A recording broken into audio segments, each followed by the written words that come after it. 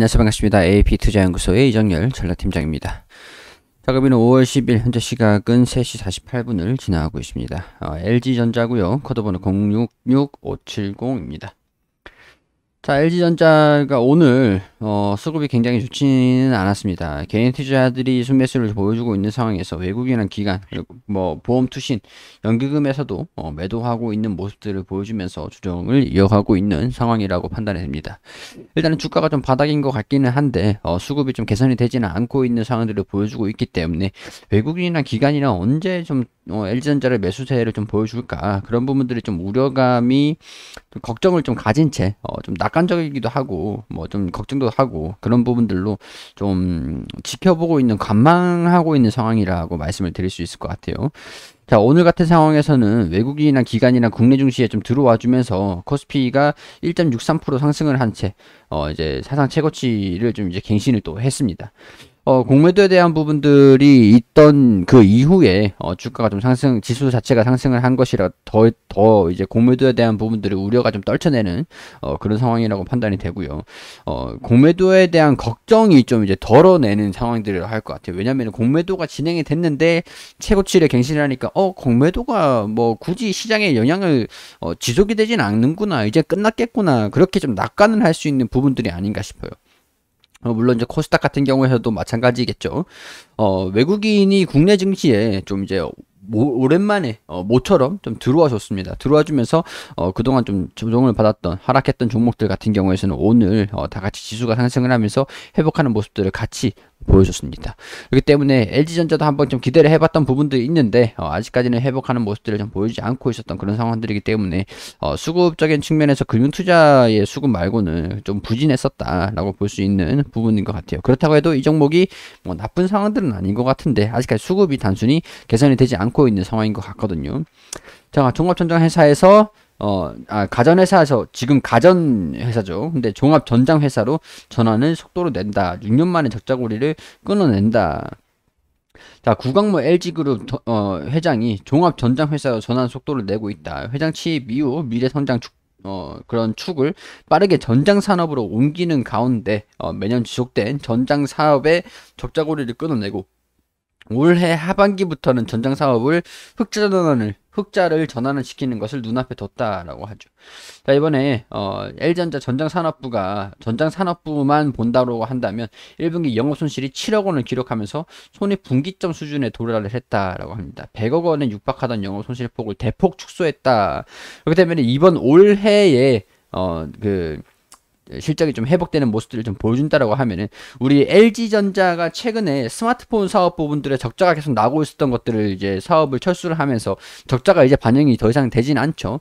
그렇기 때문에 이런 상황들이 전장이 어, 스마트폰 부분들을 전장 산업으로 좀 집중을 하는 모습들을 좀 보여주는 그런 상황에서 어, 자동차 부업체인 마그나사와 함께 설립한 LG 마그나 파워 이 파워트레인 파워트레인 어, 이런 출범이 지금 7월 1일에 진행이 된다라고 하는데 여기 음, 어, 전기차 powertrain을 생산할 것을 알려진 만큼 전장 산업에 대한 그런 기대감들이 어, 계속 앞으로 반영이 될 수 있겠다라고 할 수 있는 요인들은 모멘텀적인 부분들은 성장성 어, 그런 부분들은 있습니다.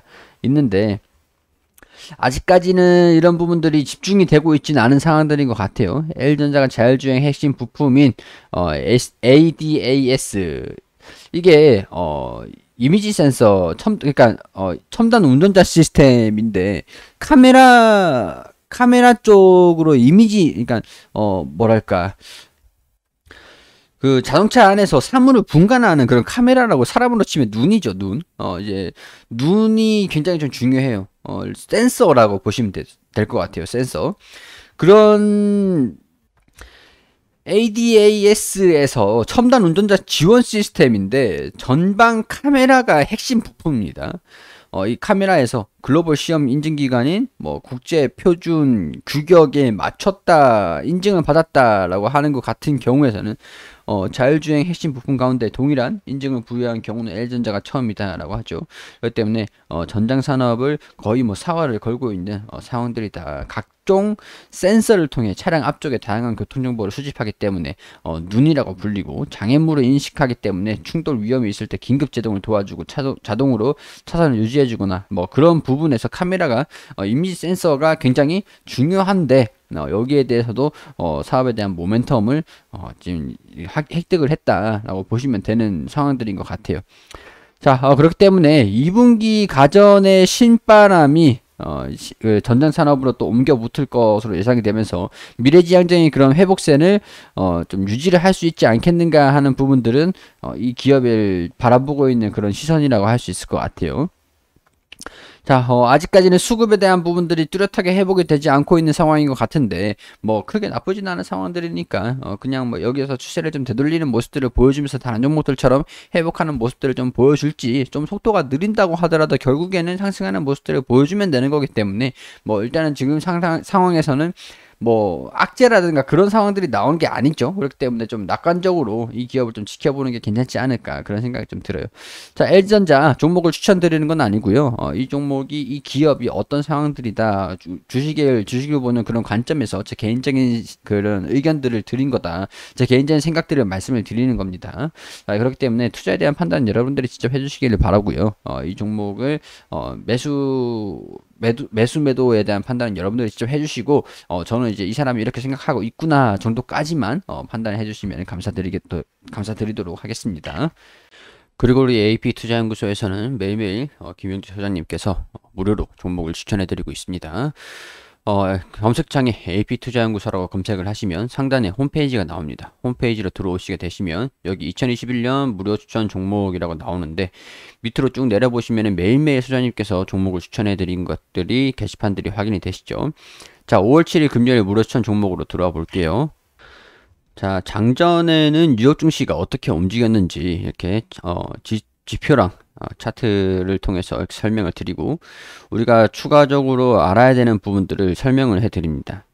자 그리고 9시부터는 무료 추천 종목을 어, 시작하겠습니다. 라고 말씀을 드리고 9시에 큐브 엔터 현재가 4,350원, 1차 목표가 4,480원, 손절가 4,200원, 9시 2분에 이글루 시큐리티 현재가 7,510원, 1차 목표가 7,735원, 손절가 7,200원, 9시 3분에 이구산업 현재가 5,430원, 1차 목표가 5,590원, 손절가 5,120원으로 대응하시라고 세 종목 추천드렸습니다. 자, 큐브 엔터 1차 목표가 돌파, 어, 차트를 통해서 이렇게 호가도 보여드리면서 어, 상승하고 있다라고 말씀을 드리고 1차 목표가 달성을 했습니다. 자, 그리고 이글루 시큐리티, 어, 1차 목표가 돌파, 추가 상승 중입니다. 똑같이 이렇게 설명을 드리고요. 자, 세 종목 추천하여 두 종목 수익 한 종목 보유 중입니다. 큐브엔터, 이글루시큐리티, 이구산업 같은 경우에서는 오늘 어, 손절가를 터치를 하면서 어, 손절이 진행이 됐습니다. 자, 큐브엔터 8% 정도 최고가를 터치를 했고요. 18% 정도 이글루시큐리티는 올라갔습니다. 자, 그리고 어, 수익률 표로 이렇게 쭉 보여드리는데 어, 모든 종목들이 전부 다 수익 날 수는 없어요. 그렇지만은 손실이 낮다고 하더라도 수익 나는 종목들이 어느 정도 있기 때문에 어, 손실을 만회할 수 있다라는 게 중요한 거거든요. 단기 종목으로 추천을 드리고 어, 그날 매매 원칙을 하기 때문에 그날 올라가면 수익 실현하시고 어, 떨어지면 손절가 터치를 하면 손절을 하시고 어, 그런 식으로 목표가 손절가를 지켜주시면 되는 겁니다. 자, 단기적으로 좀 수익이 필요하시거나 어, 리스크가 좀 있더라도 어, 단타를 좀 하고 싶다라고 하시는 분들 같은 경우는 오셔가지고 도움을 받으시면 좋겠죠. 많은 관심 부탁드리고 저는 여기에서 인사드릴 수 있도록 하겠습니다.